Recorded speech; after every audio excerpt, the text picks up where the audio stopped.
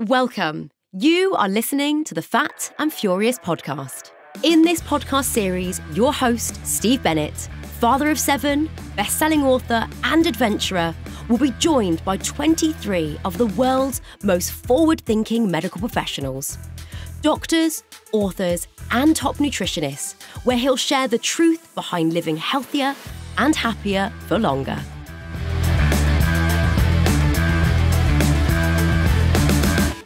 In this episode, I'm going to be talking with a very good friend of mine, Dr. Aseem Malhotra.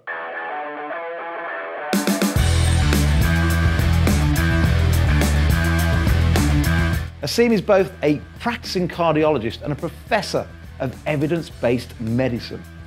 He's a founding member of Action on Sugar and has led work highlighting the harm caused by excess sugar consumption in our country, particularly in its role in type 2 diabetes. Aseem has written for dozens of publications, including the British Medical Journal, The Guardian and Observer, BBC Online, Huffington Post, The Daily Mirror, The Daily Mail, The Daily Telegraph, and The Washington Post. In 2018, he was ranked by Onalytica as the number one doctor in the world influencing our thinking on obesity.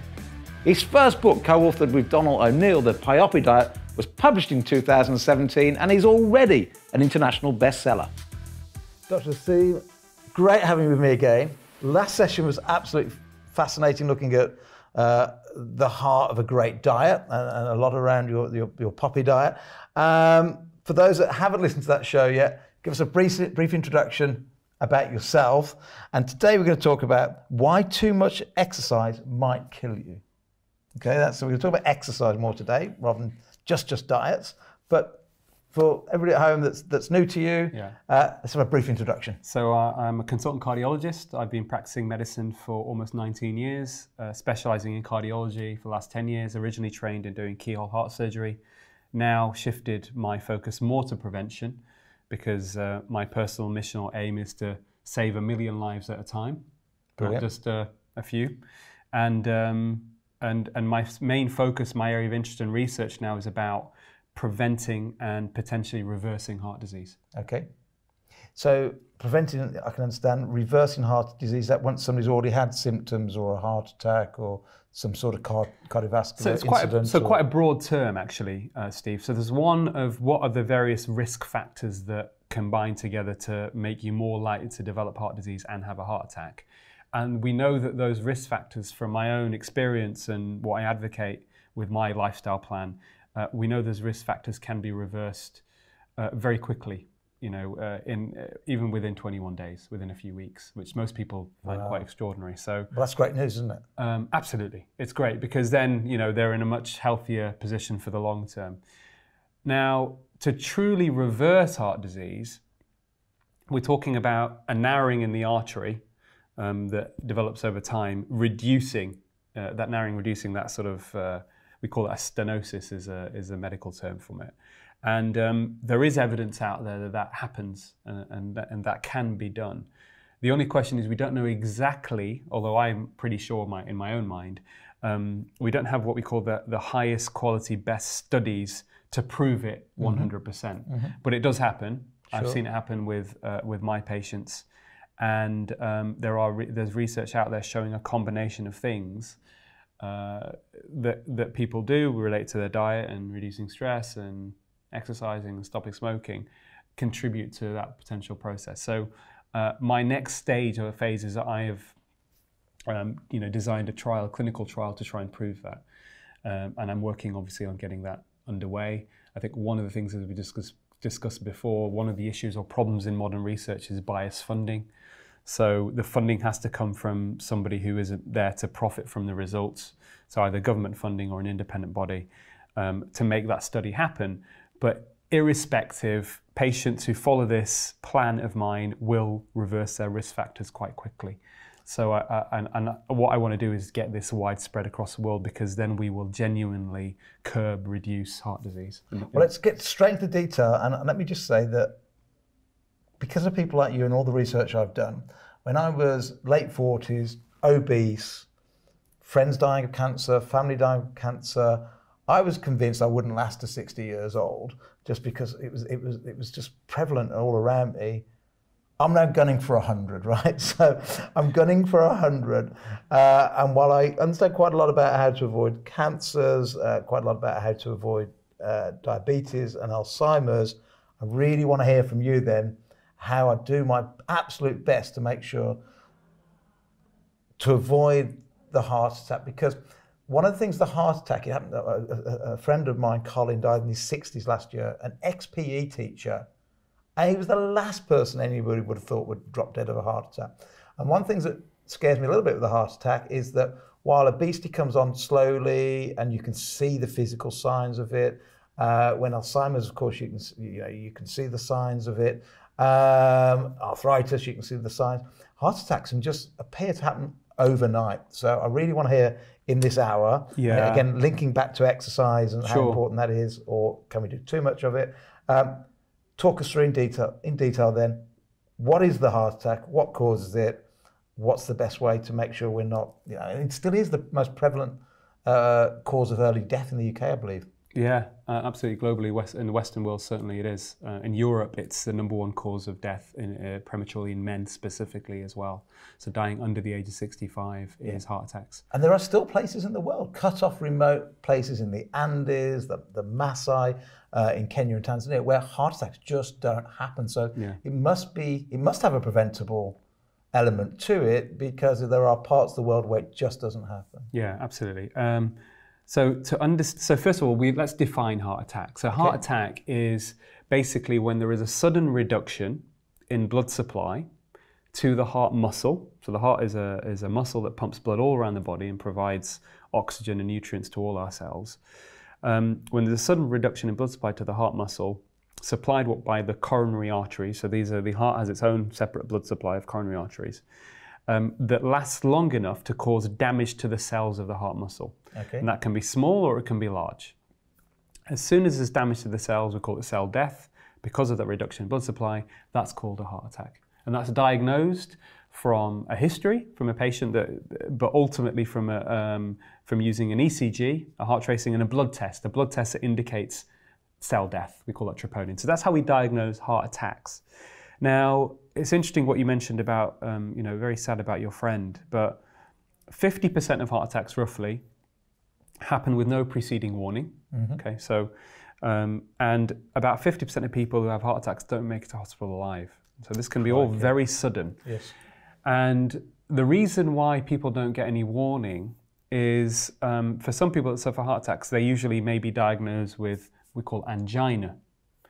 You may have heard that term angina. have you heard that before? that's A lot of people have heard that. You get tightening of the chest. Yeah, so it's a classic feeling of a, a chest tightness Yeah. in the center of the chest that happens with exertion and is or with stress and is relieved by rest. Sometimes it can go up into the jaw, down the left arm. If that happens with exertion relieved by rest, you must see your doctor because it's uh, there's a strong chance it could be angina. And angina isn't a heart attack. So what's actually happening in the arteries is usually for angina to happen, at least 70% of your artery needs to be blocked. Okay. Right. So what happens is when the heart undergoes stress in the sense of it needs more oxygen with exercise, that 70% narrowing suddenly becomes it's not avail it's not uh, there's not enough blood to hit the heart and then you get pain in the chest. That's what So you, angina so is. you don't notice it day to day, but as soon as you put a bit of load on the system because Yes. you're trying to pump more blood through a narrowed artery and trying to pump it faster, that's when you get Angina, angina, absolutely. Now, what's interesting though, and coming back to why 50% of people who have heart attacks have no pre warning signs or no angina preceding it for months or years beforehand, is, and this is where something that has um, I've been involved in trying to shift that understanding, is that most heart attacks happen at narrowings that are not 70%. They may be 20%, they may be 30%, they may be 40%. So they won't cause any problems in terms of symptoms with exercise or stress, but suddenly what happens, that narrowing, I liken it to like a pimple. Okay, imagine a pimple or a volcano or something that if it stays as it is, doesn't cause a problem, the volcano. But if the volcano erupts, you've got a problem. So suddenly that pimple at that volcano that erupts or bursts or whatever, and it releases the contents of the inside of that inside the blood vessel, mm-hmm. And then suddenly a clot forms, and it takes minutes for a clot to form. And you're saying that, that that volcano is on the inside lining of the artery wall. Yes, Okay. absolutely, absolutely. And then that clot forms. you get a complete, often a complete occlusion then of that whole Yes. artery because of the clot. The body's reacting and forms a clot, and the blood doesn't go through, and then you have a heart attack. So that's how it happens. So often it's a, that's why a lot of people don't get any warning signs. So, and the other thing to mention as well, which is interesting, a lot of people have heard of heart stents. So these are little metal scaffoldings that are put into people with stable heart disease or to treat a heart attack when it's happening. But we know actually, what's interesting from data that even if you have a 90% blockage that's stable, hasn't caused a heart attack, that's found from you know an angiogram, if you put a metal scaffold in there to try and um, you know stretch the artery and open up that narrowing, that doesn't prevent heart attacks or prolong life because the process behind heart attacks is an inflammatory one that causes a sudden eruption. Um, and if you have a gradual narrowing in your artery, so another side of all of this, say you don't have that eruption, that sudden clot forming, yeah. if the narrowing which develops over over years, it can start even in teenage, right? Small starts with a small fatty streak of inflammatory cells and cholesterol and all that. If that builds up over time gradually, that will rarely cause a heart attack, even if it 100% blocks gradually, because Blood has found its alternative routes yes, around. we call that collateral vessels, so new blood vessels form. yeah. So for me, having so people need to understand that first. Once you understand that, then the question is, well, well, well, well what can you do to reduce the risk of that? If there's a narrowing there that's developed, that you've got, you know, how do you reduce the risk of that causing a heart attack or rupturing or erupting or whatever? Um, and can you potentially reduce that narrowing? So let's talk about reducing the rupture first, the chances of it happening.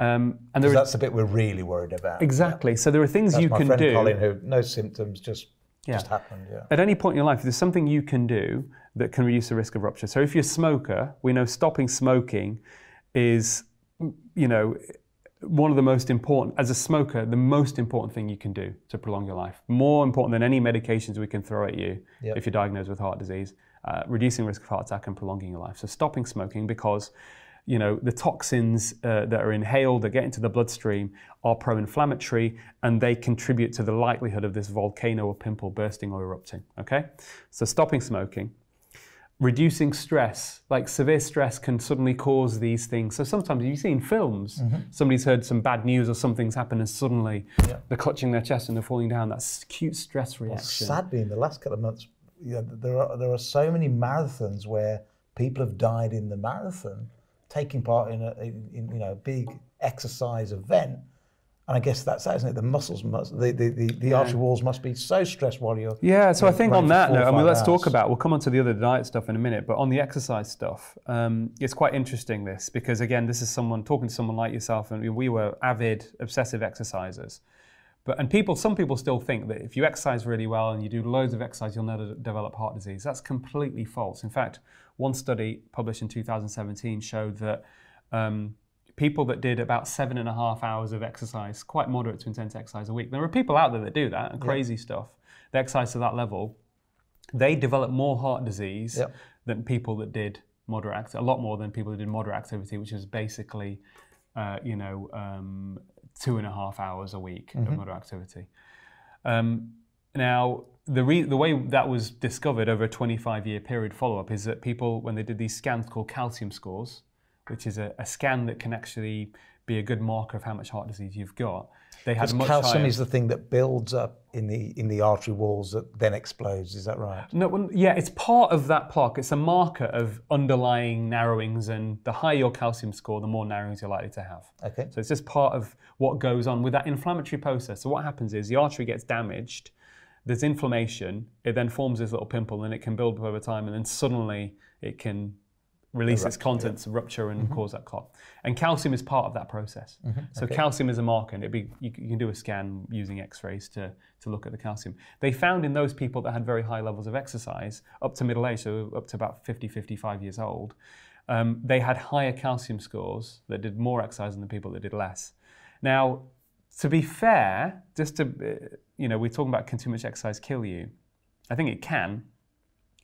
That may also be different to saying that necessarily resulted in them dying earlier. We don't know that, but logically, you'd think there's more heart disease, they're more at risk of death.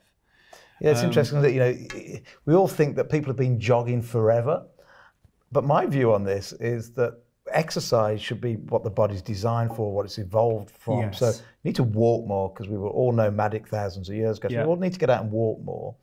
We need to lift heavier things because we've got to keep out, especially as we age. You should, you should see, I believe, older people in the gym more than younger people because we need to keep our muscles as we as we age. But this relentless jogging, which I used to be part of that fraternity, actually is quite a modern thing. In fact, it, it- a guy called Ken Cooper uh, in America uh, in the late 60s, they reckon back in 1968 in America, less than 100,000 people classed themselves as joggers. Within two years after Ken Cooper coined the phrase aerobics, there was something like 30 million people starting to jog. So jogging actually is quite alien to, to the human body. Anyway, Ken Cooper, uh, and I admire this man because he did a complete U-turn. He's a guy that that educated presidents and Olympic sports stars on more exercise is better, is better and better. And towards the last latter end of his life, he said, I got it completely wrong. Yeah, I assumed that more exercise meant longer life. Well, actually, if you go over the top, it actually shortens life. So it's just getting that balance right when it comes to exercise. And that's a good point. So they did a very a large study, observational study, looking at ex-Olympic athletes, and they found that elite athletes don't live any go- longer than golfers or cricketers. Mm-hmm. So what I say is a little goes a long way. Know why you're exercising it and listen to your body. Sure. Um, one of the problems with jogging, I mean, a lot of my friends are orthopedic surgeons. And they said to me they're seeing more and more people in their 30s and 40s having knee and hip replacements Yep. because they're jogging on the road. He said no one should be running on the road. But there's this kind of mentality driven by whatever, seeing stuff on TV or thinking, seeing it looks good. And it's also not the best, as you know, Steve, it's not the best way to get a cardio anyway. Sure. You know, Yeah. you're only Yeah. um, going to a certain level when you do, you know, it's much better to do things like high intensity interval training for short periods, you know, use compound movements, use your, you know, get your glutes involved, your quads. Obviously, we, in the Big Fat Fix, um, we talk about all of this stuff. So, And- so is you know, there, so, back to your so thing- can back- you get cardio, Yeah. but without damaging your joints? And I think people need to think about that because some people get properly crippled Yeah. in older age because, and they've been, you know, do, doing marathons and stuff, and they, they can't walk, and it's not nice. Yeah. You know, I don't want to be that person. Well, I was that person. I was that 10 to 15 hours a week, jogging, full on cycling. I've had to have a knee replacement. And it just goes on and on. And, and all that time I was obese. So it isn't the answer to losing weight Yeah. for sure. Is it the answer for happiness and longevity? I don't think so because No, it's and not. It's alien to the chronic body. pain Yeah. is not nice. Yeah. You know, even if you're an athlete, to have chronic pain, it, it, it- you know, it makes you depressed. It's not a nice place to be. And I've had injuries in my life. I've had to change my exercise routine completely. I used to be a runner, Mm-hmm. 5K, slam it, you know, every morning, wake up at six, run 5K on the treadmill, take a shower into the operating theatre for the next 10 hours or whatever. Um, and it started to affect my knees. So I've not, I've stopped in the last few years. I don't run anymore. I do some occasional sprints, very short sprints, but I don't do that running on a treadmill for 5Ks three times a week anymore. Yeah, in fact, uh, our belief in, in the Primal Living book, we, we call it our MOMS principle. MO, max out, max out. So high interval training where you're lifting uh, not massively heavy weights, but till you just can't move them anymore. Sure. Because I believe something as you age, you shouldn't be lifting massive big dumbbells because then you're going to hurt yourself. But light dumbbells, light bars, but just keep going till you can't move anymore and really max out the muscles. Then we say the best one of all is the middle bit of MOMS, MM, move more. Yeah. Just get out and walk. And Yes. in the infographic you're going to share a little bit later, you say that one of the best ways to prevent a heart attack is just get out and walk. I think you said 22 minutes per day. Uh, World Health, Health Organization quote 25 minutes a day, but in that region of 20, 25 minutes, Yeah. just get out and do it every single day. The way we came with 20, 22 minutes was basically, um, it was times by seven roughly to get 150 minutes a week. Gotcha. So we said 22 minutes a week, Fantastic. day, but just get your heart rate up Yeah. to get you a little bit breathless. A- and, and that's then what that- they're doing. The, all these blue, you know, these people were outside, they were walking. That's all you need. Your Yeah. body doesn't need, in terms of longevity. Now, okay, there are other things as you get older. One of the things that happens is you lose muscle mass. We call it sarcopenia. Uh, and that is an issue, especially for the elderly. They're more vulnerable to falling and injuring themselves, breaking a hip. You know, something you want to try and avoid. If you break a hip, 25% of those people will die in hospital. So it's a big issue. So a bit of resistance training, a bit of lifting stuff, functional movements, um, are really important as well. Yeah, I say you should always see more older people bench pressing in the gym than younger people because we do, uh, you know, we do lose our muscle mass. I think it's five percent every ten years as we get older. Sure. Right. Next question then. So, uh, if it's not going out and killing ourselves on the running track or cycling like crazy to avoid a heart attack, what can we do to reverse any symptoms we've already got or to lessen our chances of being one of those poor people that it just they just drop dead of a heart attack? What do we do to, to, to lessen our chances? So to reduce the risk, I think um, you know all the uh, data I've analysed is basically following a dietary pattern that is uh, a Mediterranean diet that's low in sugar and, and starchy carbohydrates, which is higher in base fat of extra virgin olive oil. I mean, I uh, I would describe olive oil, looking at the data and its effects on the body, good quality olive oil, like a medicine, mm-hmm. to be honest. And if you think about that that kind of potential volcano that's about to erupt in the arteries and you see that kind of fire burning, you know, I would say, you know, to explain it, if you have the olive oil with your vegetables and oily fish and all, it's almost like um, dousing the fuels, uh, the flames of that fire. You know, mm-hmm. yeah. uh, if you if you think about that, so kind of the artery, and that will just it's about stabilizing what's already there to reduce the risk of that causing you problems down the line. And, um, and when you say olive oil, Malcolm, big fan of the omega threes as well. Does that fit into the same category? Yeah, absolutely, yeah. absolutely. So oily fish. Yeah. Um, you know, certain seeds, flaxseed, for example. Exactly. You know, these omega threes are very, very good, very anti-inflammatory. And avoiding the other thing actually to avoid, which a lot of people probably don't know about, is um, cooking in what I call industrial seed oils like sunflower, soybean oil, that kind of stuff. When you heat those oils up, they become quite toxic at, at relatively, you know, not very high temperatures, and they're pro-inflammatory. So you want to be cooking. Ideally, your base fat should be extra virgin olive oil. But on top of that, then if you're doing that, then there's no issue with having some butter and coconut oil and all that kind of stuff. Yeah. Uh, ghee, you know, I use this all the time. But the main thing is get at least four tablespoons of extra virgin olive oil in per day. I probably get about 10. Isn't that amazing that all the things you just mentioned five years ago was the enemy? You know, people say saturated fat, that's what clogs the artery, but all the ones you just mentioned, coconut oil is, is high in MCT, saturated fat, uh, butter's high in saturated fat, meats are high in saturated fat. Well, even extra all, virgin olive oil has 14 to 20% yeah. saturated fat, which yeah. is higher than what we're recommended to consume in terms of total calories. And yet, so, all the fats we should be avoiding are the manufactured, man-made, hydrogenated, the margarines, the, the oils they, they probably use in chip shops. And yeah. yeah, and I was saying to you earlier on, you know, my other job is around gemstones and how frustrated for years I've been with Swarovski crystal, calling their Swarovski crystals crystals when they're not crystals. Uh, and it's just this big con. And it's like, if you want to look at, you know, oil got a bad name and fat got a bad name yeah. around heart attacks and everything.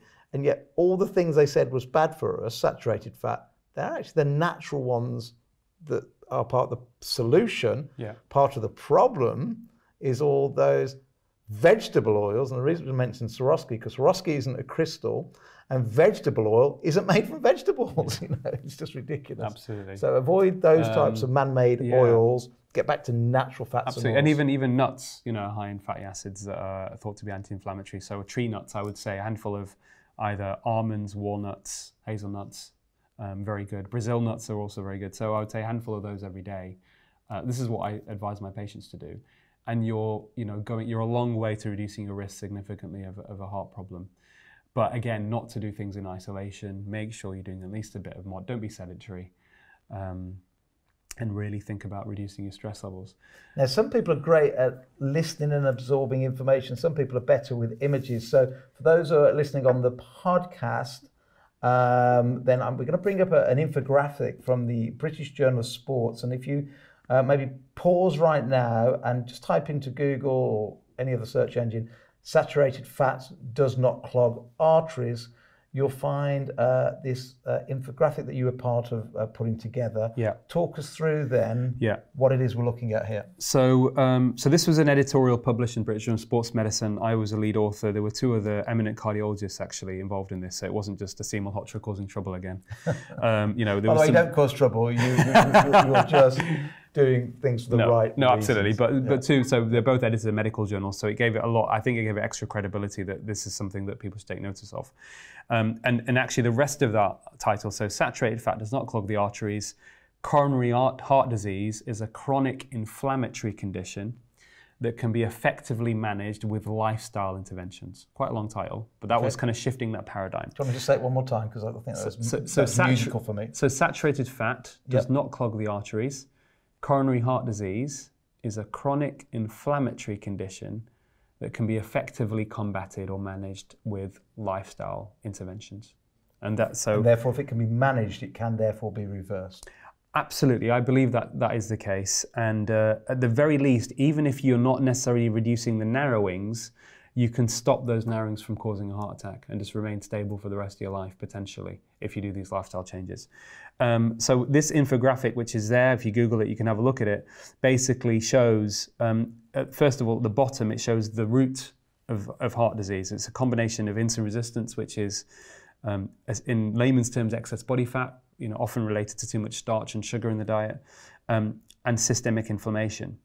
And what causes that is basically, you know, the wrong sorts of diet, too much stress, smoking, being sedentary. So therefore, to combat it, you sort your diet out. Yep. Um, and we talk about, you know, I, I recommend personally a, a higher fat Mediterranean diet. So that's you know, base of it, lots of vegetables, extra virgin olive oil, nuts, oily fish, moderate intake of cheese and yogurt. A lot of these, you know, certainly in Pioppi and some of the, and we think that, interesting on dairy, there's been a lot of controversy on dairy, but at the moment the data suggests, and again, it's not the most robust, you know, conclusive data, but it suggests that full fat dairy may protect you, protect you from heart disease and type 2 Isn't diabetes. And plus, it's nutritious and you enjoy it. A so, complete U-turn of views. yeah. absolutely. So, I say moderate intake of cheese and yogurt and something that's low in sugar and refined carbohydrates. Don't say you have to completely avoid it altogether, but you should try and reduce it significantly. And then combined with that is regular activity. We say walking 22 minutes a day, 150 minutes a week, moderate Mm-hmm. activity. So, getting your heart rate up to at least 50% of your target heart rate. What does that mean?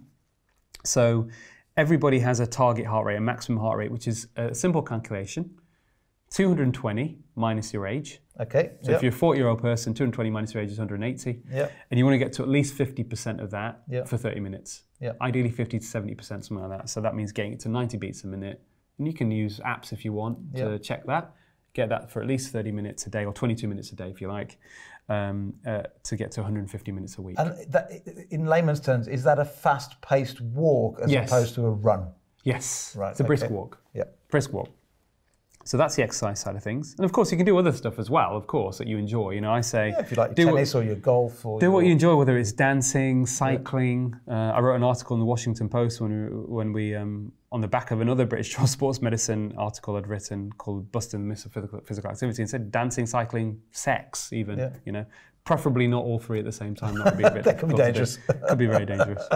Um, and then stress reduction, big thing, really important is meditation, yoga. Um, there is some good studies out there showing that it does reduce the risk of having heart attacks Yep. and, and even death rates from introducing that, especially people who are at high risk of heart disease who have had heart attacks already. And I'm a very big advocate of that, not just for physical, but even mentally. My patients feel so much better mentally when they do that within weeks of doing meditation, you know, half an hour a day. Now, we, we talk about reducing the, the facts. How quickly can this? Obviously, we don't know that our arteries are clogging up. Lots of people now are suggesting that if you're concerned at all, going to have a CAC scan to see what your calcium levels are. But if you're not having a CAC scan and you're worried because maybe you know you've been overweight for a long time, maybe you were an ex-smoker, maybe you, you drank too much. How quick can we start seeing benefits if we start to follow what you're suggesting here with the, the high fat Mediterranean diet, Yeah. getting out and walking? Is, does it take years and years? No, it, it depends where you're starting from, Steve, to be honest. But if you are already, you have what we call metabolic syndrome. yeah.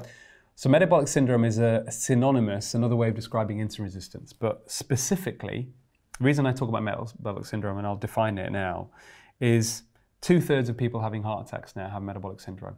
Okay.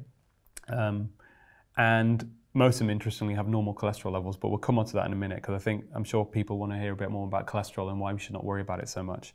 But metabolic syndrome is basically any three of these five high blood pressure, pre-diabetes or type 2 diabetes, high blood triglycerides, low HDL, so called good cholesterol, and increased waist circumference. So we think about those, Yep. metabolic syndrome being the big issue with heart disease. How quickly can you reverse those risk factors? It can happen within weeks, 21 days. Yeah. You know, I've seen it happen, and again, it's where you start. But if you've got metabolic syndrome, you can reverse, get out of the definition of having metabolic syndrome. Um, you know, uh, within a few weeks of changing your lifestyle, it's that quick.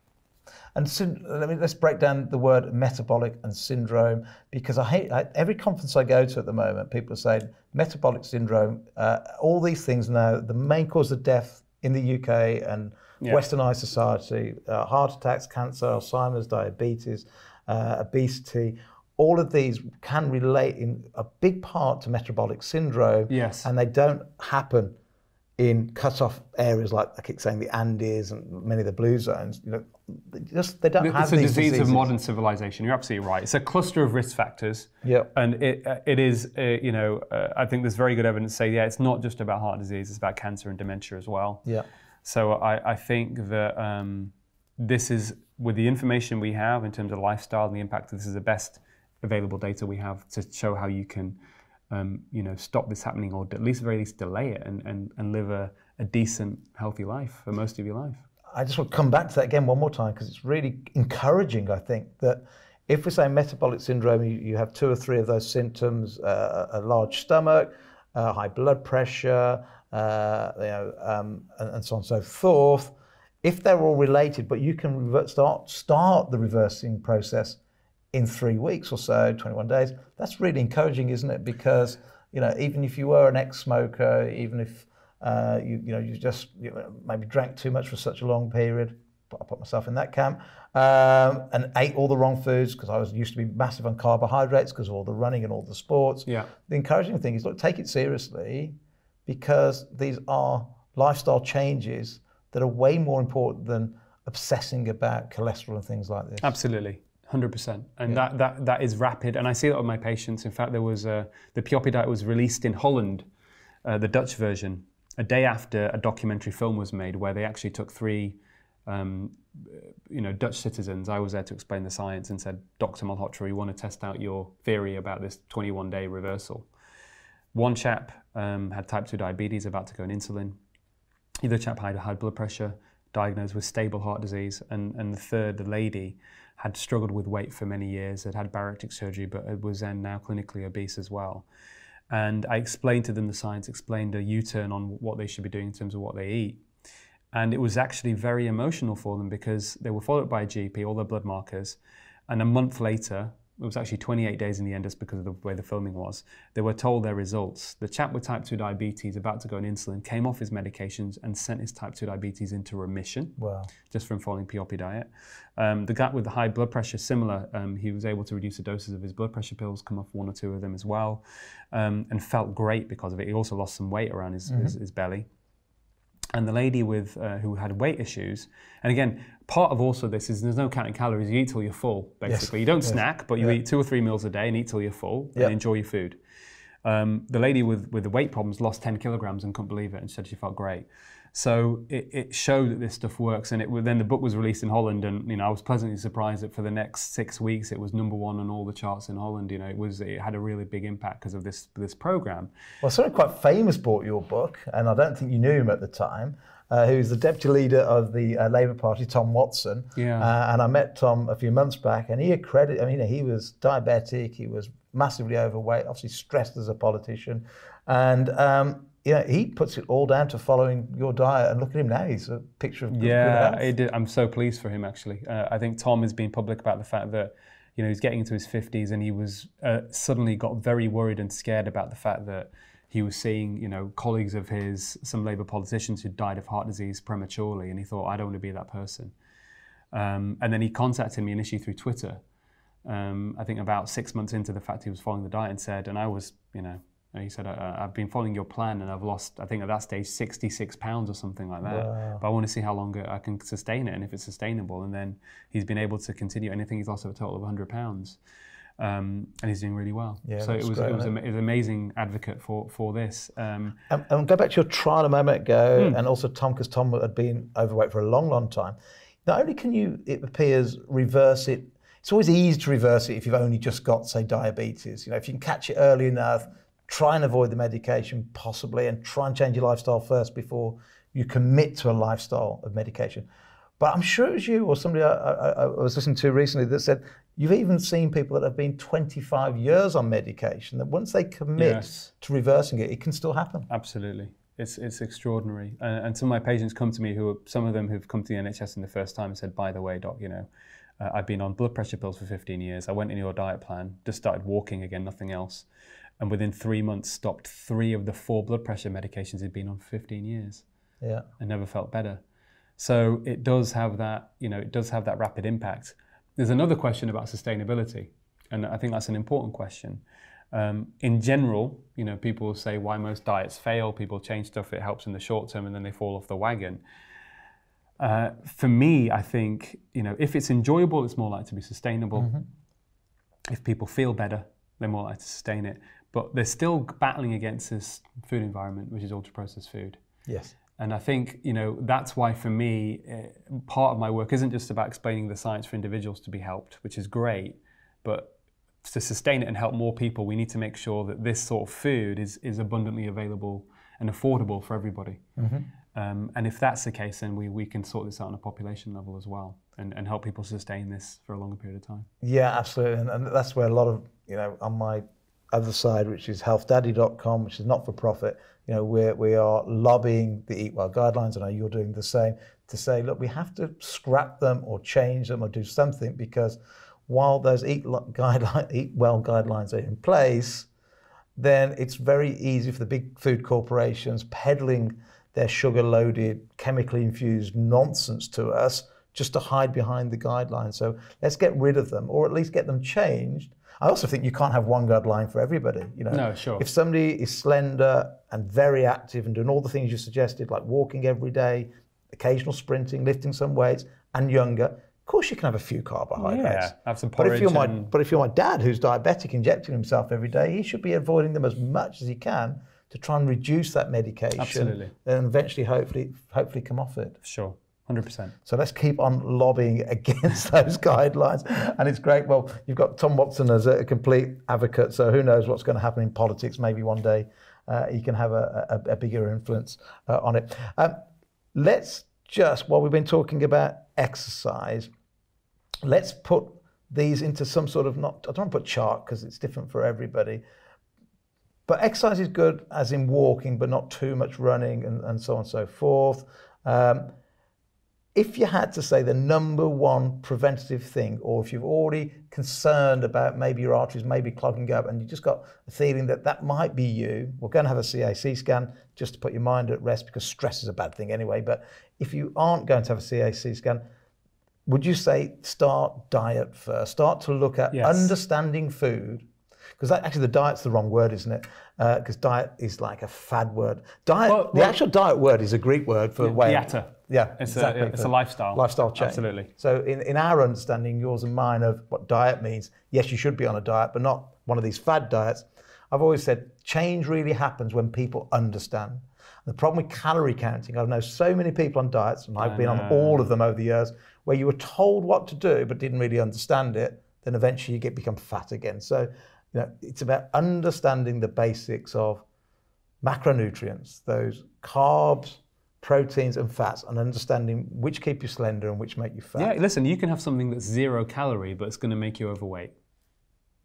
Isn't that amazing? So if you, for me, um, you know, these diet drinks, for example, they actually work as appetite stimulants quite often. So you end up eating more Yeah. often. So you've got to think about how is what you're consuming affecting your appetite control mechanisms, the hormones, your metabolism. Yes. It's not just about simple calories in, calories out. Calories do matter, but where the calories come from matter more. And when you eat nutritious, healthy foods, in general, your body corrects itself. There was no obesity in, in our grandparents' generation. Yeah. They weren't counting calories, were they? Yeah, they weren't. They were just eating real food. uh, just eating food without labels on it that came out of the ground. And if you think about the three macronutrients, and people say, well, it is about counting calories, and that's where they hide behind some of these big food companies. I say that a calorie from fat is different to a calorie from protein, which is different from a calorie from carbs. And some people say that's rubbish. I say, okay, think of it another way. $100, 100 euros, and 100 pounds are all 100 of a currency, but they all buy you different things. That's exactly what the case is with food. So you need to understand the basics of food. Understand that fat's not the bad guy. I'll tell you what I'd like to probably end up this session on. We're talking about how the speed of reversal of heart disease. We're talking about how too much exercise could kill you. We haven't yet touched on that word that, that I've been paranoid about for years and it's caused me untold stress because I've been threatened to go on statins by my doctor so many times. Tell me about cholesterol because we haven't mentioned cholesterol so, yet. So it's a very good question. So for years, what I learned at medical school is high cholesterol is a risk factor for heart disease. And in fact, it's been at the heart of public health policy and amongst cardiologists and um, you know uh, even through to GPs that the most important thing we can do to reduce risk of heart disease, the number one target is cholesterol and get it as low as possible. let's explain where that came from. So there was a study that we carried out over several decades, started in the 1950s in a town called Framingham, Massachusetts in the United States. And they followed up 5,000 people, and from that, lots of publications and you know medical uh, in journals came to try and look at various risk factors to try and determine mm-hmm. disease. So we got smoking, about exercise. Now, cholesterol emerged as a so-called risk factor from that study, but to find an association, a strong association with high cholesterol and heart disease, and that was true. However, the levels were actually very, very high, um, affecting a very small proportion of people. Um, so it's only they found that the association was strong if your total cholesterol was above 10. Now, I oh, rarely see patients who have a cholesterol yep. anywhere close to that. Yep. Uh, and we now know that that is linked to a genetic condition called familial hypercholesterolemia. So, genetic condition where people have got very high cholesterol levels. Interestingly, on that, um, and that affects about 1 in 250 people, Steve. But interestingly, on that, another uh, thing that is, is, misunderstood. A lot of our cholesterol, total cholesterol, generally is genetically determined anyway. Mm-hmm. Probably about 80% of it. We can influence it by diet slightly. So there's a genetic thing. Now, on the other side, the people with very low cholesterol levels, less than 3.8 total cholesterol, genetically had almost no heart disease or less heart disease. But for most of the population in the middle, 90% plus, your total cholesterol did not determine who was going to get heart disease and who wasn't. Right. Okay. But what's happened is there's been a mindset that we need to get everyone's cholesterol lower, lower, as low as possible into this less than 4 category or less than 3.8 and that's the way to combat heart disease. Now what how can you do that? There are two ways. You can do it from diet but the studies have now confirmed that lowering saturated fat does not have any impact on heart attack strokes death whatever okay? So basically a waste of time. Potentially harmful. Uh, one study showed that people heart attack patients who lowered their cholesterol um, using a, a, safflower oil containing margarine had more death rates than the mm. patients that had butter instead. So this is, you know, so on that, what I would say, I quote a colleague of mine, Rita Redberg, who's a cardiologist in America, and she says, cholesterol is just a lab number. Who cares about lowering cholesterol unless it translates into a benefit for patients? Agreed. Okay, so I say don't think about lowering cholesterol, think about these other things, and cholesterol's further down the bottom, if that, in terms of should be the focus. Um, and it's also true, I've, I've read somewhere that if you have too low a cholesterol, that's equally dangerous. Yeah. So, so interesting, as you get older, the lower cholesterol, higher mortality rates, which is what we found in our study uh, when we looked at people over the age of 60. The other side is drugs. So you can take yep. drugs. Statins are prescribed to 8 million people in this country, mm. um, probably about 100 million people around the world taking statin drugs. 8 million in the UK alone? 8 million in the UK alone prescribed, that's, about 100 that's million. more than 1 in 10 people are on statins. And we know that unless you've got heart disease, you're not going to live longer taking a statin. And then you've got the whole issue of side effects, which can affect, in my view, anything up to from anything from 20%, maybe even 50%, depending on what your individual makeup is. Well, that, um, that that's frightening, isn't it? So my doctor for years was trying to push statins, or certainly threaten me with statins, unless I got my cholesterol down. Mm. And yet, research I've read recently, backed up by Bloomberg, is that it takes 300 people, they call it numbers needed to treat. Yes. Around 300 to get one benefit, and yet the side effects are way higher than the benefits. Yeah, that's in the low risk category, absolutely. Yeah. And most people taking statins around the world are in low risk, but they're not told this. So it's, it's a flawed approach. Um, it's, it seems to have failed to curb heart disease from data that we've looked at. Um, and the reason for that is partly because there's another way of looking at this, the data and statistics. So if you take an, an average increase in life expectancy in people with heart disease, taking statins every day religiously for five years, and you take it as an average, mm-hmm the average increase in life expectancy, Steve, uh, based upon industry-sponsored data that's selected and probably weeds out people with side effects. Yeah. Four days you'll live longer over a five-year period. So you've got to take the drugs for five years, possibly having big side effects. to get four days get four increase on average Increase on average in over life. that five year period. Oh. Right? You can, you can extrapolate out Yeah, to yeah, 10 yeah, years whatever, but it's still a lot less than what people are led to believe. And then when you look at the data on people stopping their statin, and this is before any awareness of side effects, about half of them who are prescribed it will stop it within a couple of years of being prescribed. So even if statins work, which I think there probably is some small benefit, I genuinely think there is some small benefit. But one, tell the patient. Two, on a population level, because of the side effects and discontinuation rates, they've failed to curb heart disease. It's a failed model, and we should be focusing on insulin resistance and inflammation. And Dr. Malcolm Kendrick says there is slight evidence that, that you know, in that one in 300, it might help prevent heart disease, but actually it's probably a byproduct and nothing still to do with lowering the cholesterol. Yeah, I mean, I wrote about this in British, in British Medical Journal 2013 that my own understanding, having looked at, there were other drug trials that lowered cholesterol that didn't have an effect on heart attacks, but statins seemed to work. So the question is why? Is there another mechanism? And there is some evidence to suggest it's anti inflammatory or has some reduction in clots or mm-hmm. whatever. So I think it's probably more likely to be an independent of cholesterol lowering mechanism. So lowering cholesterol isn't, it- it's failed. It has failed and it shouldn't be the focus, certainly for most people.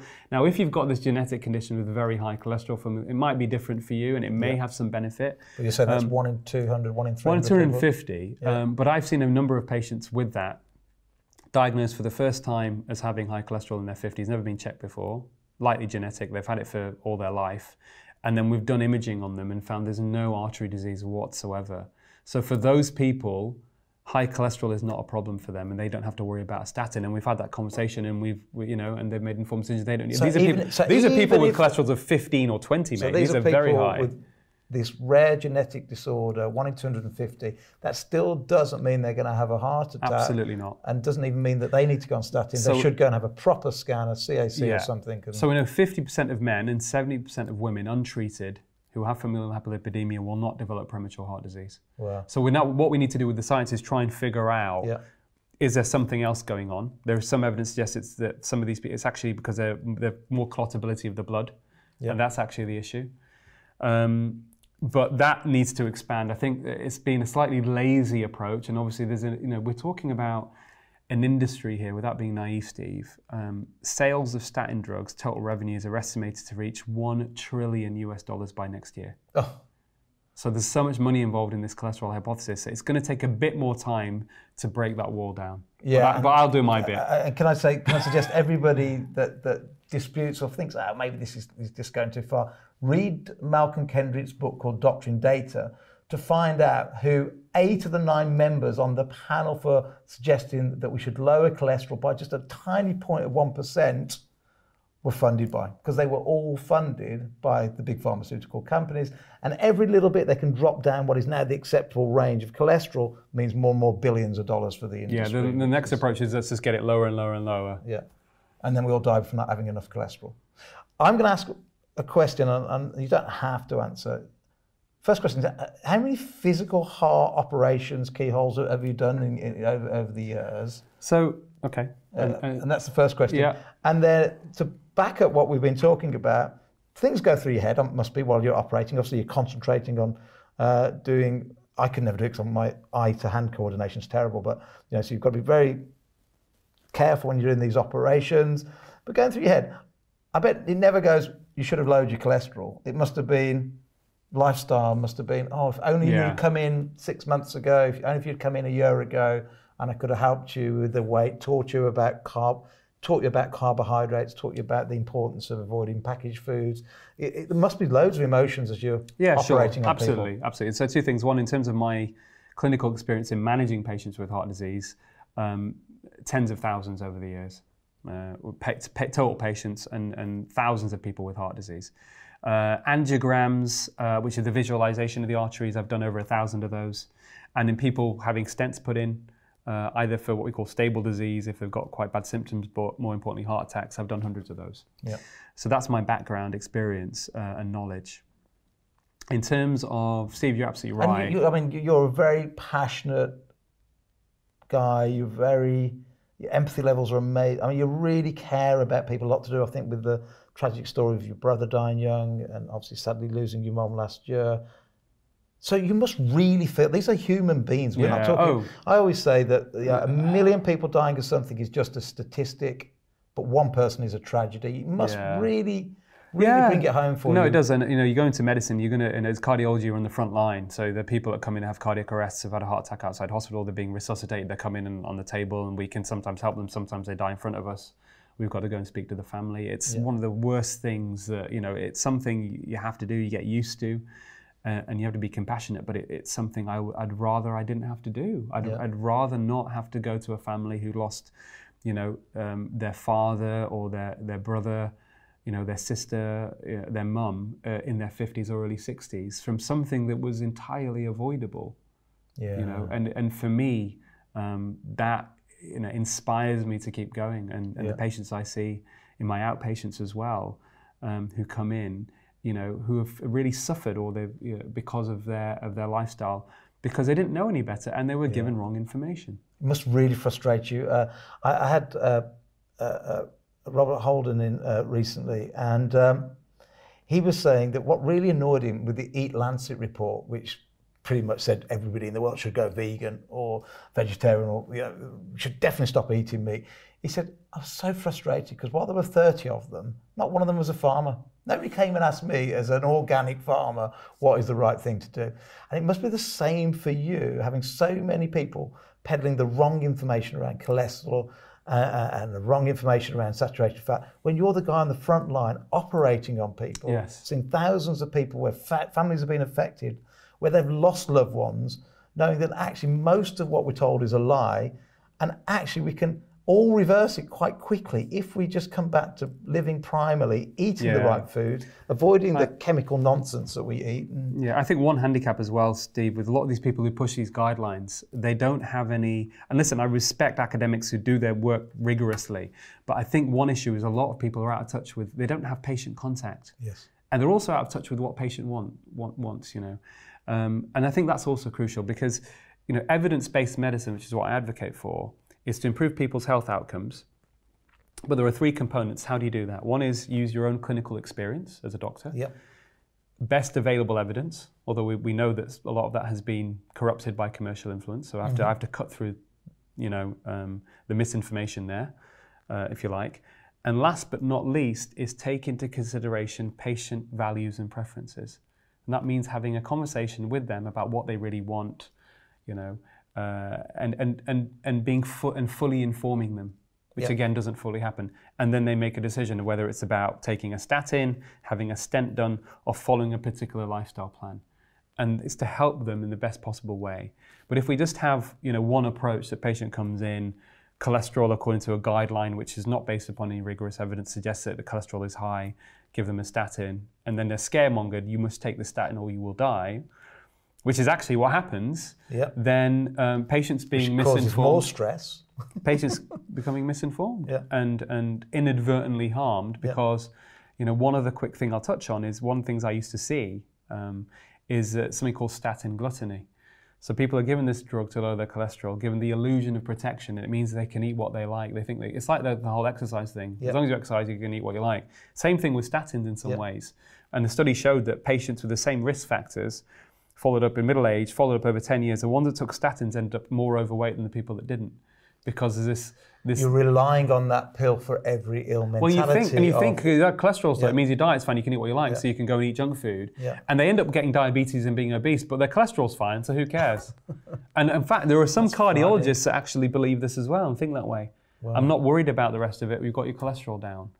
Because you know, they're, they're, they're making that decision or their understanding is, is flawed and they haven't really looked at it in depth and they've accepted uh, information that has been, um, you know, peddled as rigorous independent science Yep. as a gospel truth, when in fact it often is the complete opposite. Yeah, I mean, we have a phrase in business, you know, stand back from the coal face, take a helicopter view, and, and see what's going on. And you know, I can't say, I can't support doctors enough because 99.9% are trying to do what they got into medi- medicine for, which is to help their patients. But with such an onslaught of patients coming in now, and we're a very sick country overall, we're dying younger. Yeah, they're at that coal face and they can't stand back. Thank goodness, though, yourself, uh, Dr. David Unwin, Malcolm Kendrick, and a whole host of others now are stepping back, saying, "Hang on a minute, we've got to step back a little bit, even though we're stressed, we've got so much going on, because we've got to stop this from happening in the first place. Uh, and, it, and it's and the, the, the, the whole world, and I, I can say things, so I'm not a doctor that probably can't say, it is corrupt, and we are misled by corporate greed. And, and, and it's not so much individuals that have deliberately harmed us as a nation. It's they're doing what they're paid to do, which is return shareholder investment. Yeah. Uh, whether you be a food company, whether you be Coca-Cola, McDonald's, whether you be a big pharmaceutical company, you know, pharmaceutical companies don't want us to get healthy because if we get healthy, we stop taking pills. You know, food companies want us to keep eating their products, so we keep putting more things in to make them addictive, like more sugar, more chemicals to make them addictive, just like cigarettes.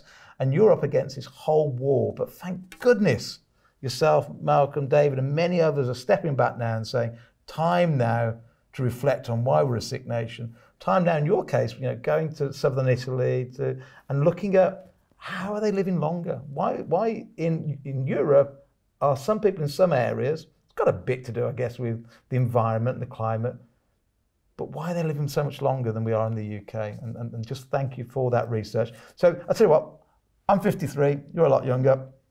Um, give me then, if it's not too if too much exercise can kill me, and I believe that, that's why I don't do as much these days, and I'm definitely much more healthy for it. As well as cutting back on the exercise, I already buy into um, sort of the high fat, low carbs. Is there anything else you'd, you'd, you'd recommend? Um, make sure you're getting. I mean, we spoke about this last night, but you know, make sure you're getting at least seven hours sleep a night Yeah, for sure. sleep, Uh, sunshine. 30, 30 minutes of, of meditation a day. Yeah, You know, whether it's yoga, Pilates, or just deep breathing, for sure. Um, that's what I'd recommend for you. But Brilliant. otherwise, I think you're you're on you're on course to live to 100, mate. good. I'm working on it. So uh, stop being paranoid about cholesterol. Again, get all these things checked. If you want anything, go and see your GP. That's that's what they're there for. But also do your, you know, if you are diagnosed with high cholesterol, go and do your own research. And lifestyle, lifestyle, lifestyle. You know, uh, you know we've had cholesterol for the last two million years. Cholesterol has worked perfectly in our body and works perfectly in the bodies of people in remote communities.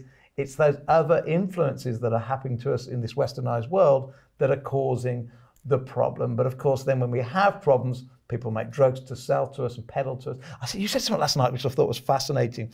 You said that what tends to happen with drug companies, because they're businesses, they do find something that alleviates some problems for people that have got real severe symptoms of that problem. But of course, every business then needs to grow and expand and expand and expand. So eventually, though, it gets past a point with most medication where it's really doing Yeah, Uh, and then the harm good. outweighs any good, Yeah. and then you've got a problem, and that's you know that's a, a regulatory system failure. Um, you know, it's driven by greed, uh, and I think that's the, and then it causes it causes more harm than good. Um, and and then they deliberately try and cover up stuff to when people try and expose that this is of no benefit or we should be telling people the truth. So that's where things get very murky, unfortunately. Um, yeah, it's the way it's the way some business is done, but it's, it's certainly a lot of, of big business that have a lot of power. yeah. Uh, so we need to change the whole, really, and change the the, whole system. system needs Absolutely. to change. And that comes through knowledge, and hopefully podcasts like this and broadcasts like this help get that You know, knowledge uh, out there. I mean, there's a friend of mine who you probably know, Robert Lustig, who's a brilliant, genius. professor of, uh, of endocrinology, you know, sugar guru. Yeah. Uh, and we have, we, you know, he's a very good friend of mine. And he said, you know, to me, and I, I repeat this, is that I have no problem with people making money doing the right thing. I have a problem with people making money doing the wrong thing. Mm-hmm. That's a great line. His book, by the way, is a great book. It's although it's called Hacking the American Mind. Take the American bit out. It's it's it's, it's all about what's how we're being promoted happiness from all these big food companies, and yet happiness and pleasure are two different. This whole thing is the difference between Yeah. pleasure and happiness, and pleasure actually is like a short-term game. Yeah. And you know, we eat that McDonald's, have that Coke because it gives us instant pleasure, but it destroys our long-term happiness Exactly. and how. And yet, all the companies are using the word happy and play uh, and so on to market to us when actually they're selling completely the opposite. So, uh, read that uh, uh, great book by Robert called "Hacking the American Mind." And for people to follow, we've come to our end. Sadly, it's gone, gone very, very quickly. For people who want to follow you more, tell us about your book, which is I think the yeah, Penguin. um, uh, Pioppi Diet. You can get that on, on Amazon. Um, uh, my website is drasim.com, and if you know people can contact me there as well if they want a consultation or whatever. I also do consultations.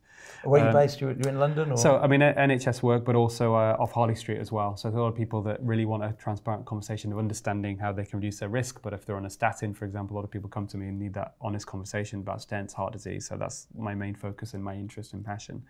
Um, and then on, I'm on social media, Dr. Aseem Malhotra on Twitter, Instagram, Lifestyle Medicine Doctor, and Facebook as well, Dr. Aseem Malhotra. Well, look, please just keep doing what you're doing the the more successful you'll come, the more those big giants will come after you, try and put you know suppress you and push you down. But keep doing what you're doing, and I, I, I think your aspiration of helping a million people at a time will come to fruition. Thank you for everything. It's been a fabulous hour. I hope you've all enjoyed listening and watching to it, and I'm sure hopefully we'll see you again. Thank you, Steve. It was Thank a pleasure. You. Lovely. Thank you. If you enjoyed this podcast, then why not subscribe to the full series so you can hear from all the incredible health professionals we spoke to? For the full story, you can also get the book Fat and Furious, written by Steve Bennett, available on Amazon.